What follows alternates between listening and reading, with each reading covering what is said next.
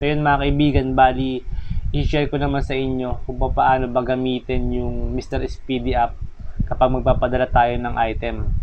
No? Bali, simulan na agad natin yung tutorial, yung step by step tutorial ah, pagkatapos ng intro na to.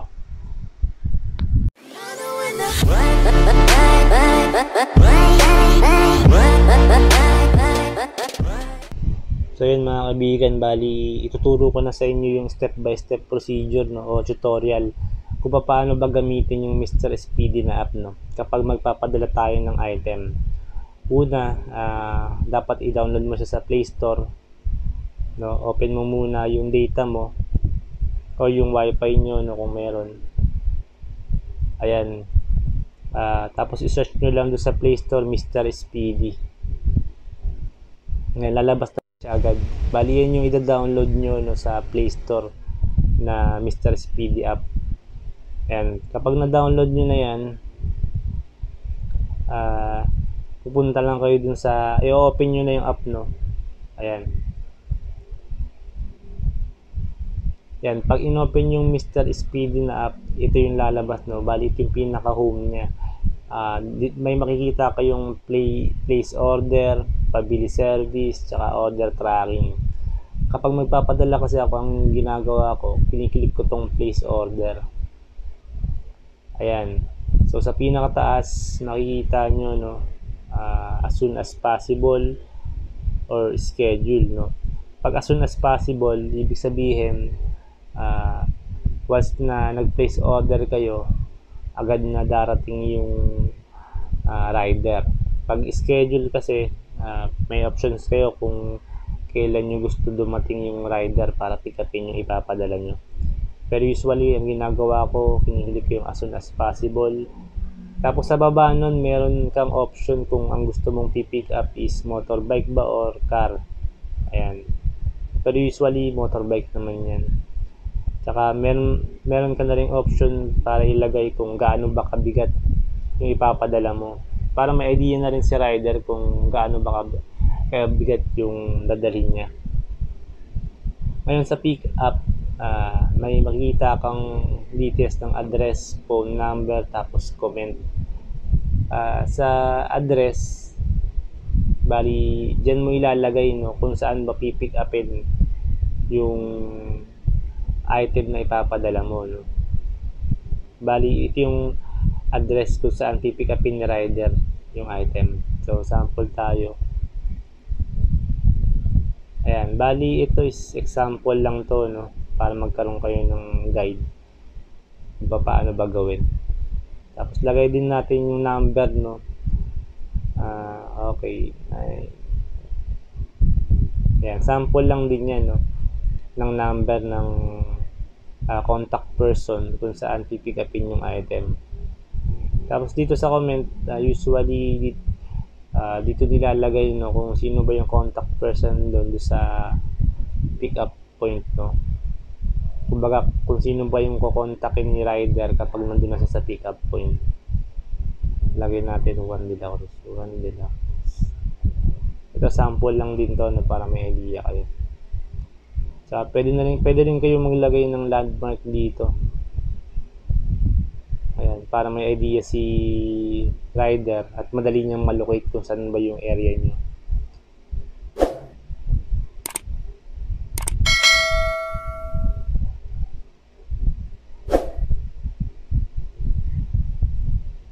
Ayan. Tapos dito sa drop off, ah, dito naman yung details no kung saan ba ipapadala no, kung saang area ba ipapadala yung item. So, ayan, bilagay din tayo ng sample.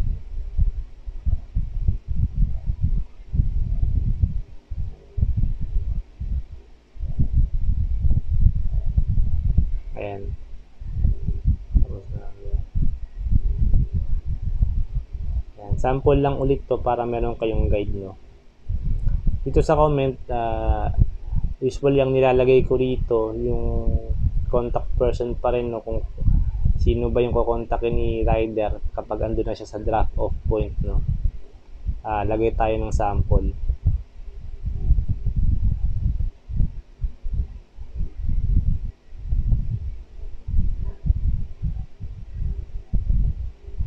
Ayan sample lang yan ha tapos pwede rin kayong maglagay ng landmark dito.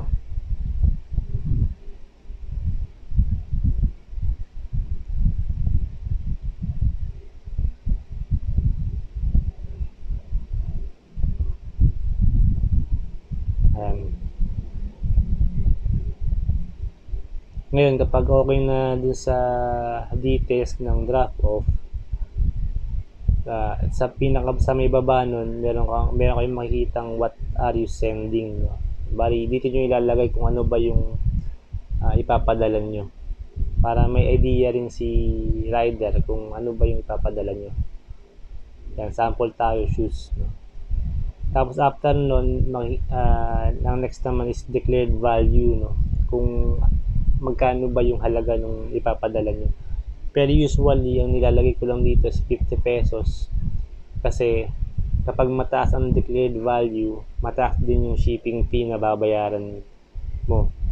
So, sample tayo, kapag 50 pesos, 133 pesos lang. Makikita nyo sa pinakababa. Ayan. Pero kapag ginawa natin 500 na yan, yan, naging 151 siya, no? Ibig sabihin, kapag mataas yung declared value,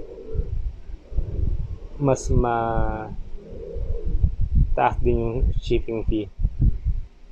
Ngayon, may promo code yun sa, P, sa may baba. Uh, kung merong promo si Mr. Speedy, yan, pwede nyo i-avail yun para maka-discount kayo. Ngayon, pwede nyo ring uh, i-request dito sa Mr. Speedy app kung yung magpipick up sa inyo is may motor box ba o wala. Uh, pero karamihan naman sa rider nila is may motor box, no? Para lang, may, para lang masi, mas sigurado, no? Kung, usually, kung pagkain yung ipapadala mo, usually, kailangan ng motor box, no?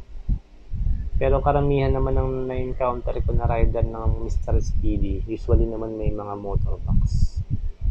Ngayon sa pinakababa, meron makikita mo yung option no kung ano ba yung payment, paano ba yung mode of payment, kung cash ba siya or non-cash. Yan. Ah, uh, oo nga pala kasi meron mapapansin nyo no, may naka, nakatik dito yung notify recipient by SMS. Ayan, ibig sabihin kapag andudo na si rider sa drop off, i-text na yung uh, recipient through SMS na text message. Ayan. Sa pinakababa, ayan yung mode of payment o kung cash ba siya o non-cash. At kung kanino ba, uh, kung saang area ba magbabayad, no? Kung uh, yung magpip kung sa pick kung sa pick up point ba dun babayaran or kung sa drop off point babayaran. Ayan. Bali, kapag okay ka na dyan sa lahat na yan, na pinapan mo na siya, uh, double check mo lang din no, para maiwasan natin yung uh, maabala. I-place order mo na kapag sigurado ka na. Yan. So, lalabas dito yung valid phone number. So, mali yung phone, phone number natin.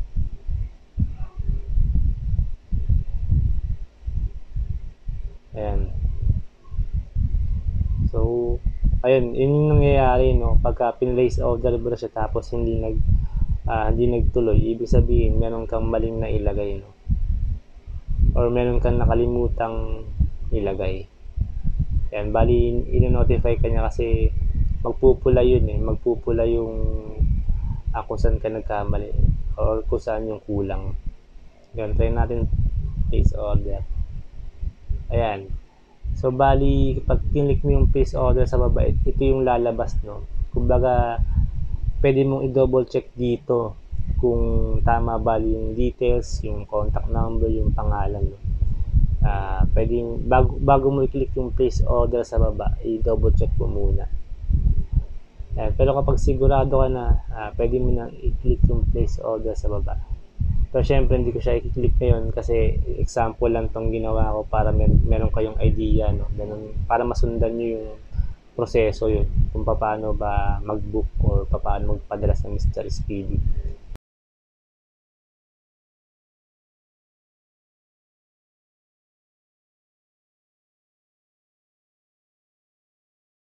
So ayun mga kaibigan, sana nagkaroon kayo ng idea at sana nabigyan ko kayo ng impormasyon no kung paano ba mag-book or paano magpadala gamit yung Mr. Speedy app. No, basta kailangan mo lang i-download yun sa Play Store, libre naman siya. At syempre, kailangan mo ng data kapag magpapadala ka.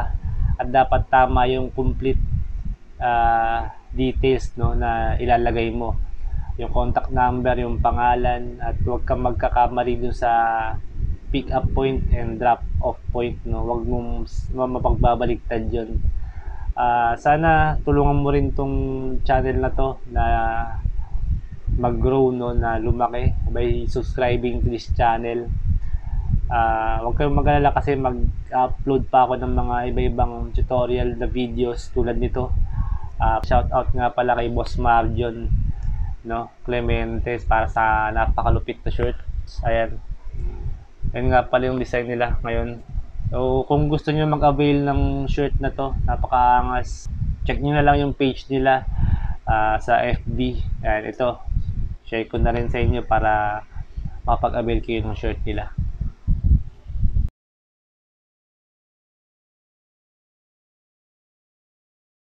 So yun mga kaibigan, uh, stay safe at ayun, kalmado lang tayo. Peace out.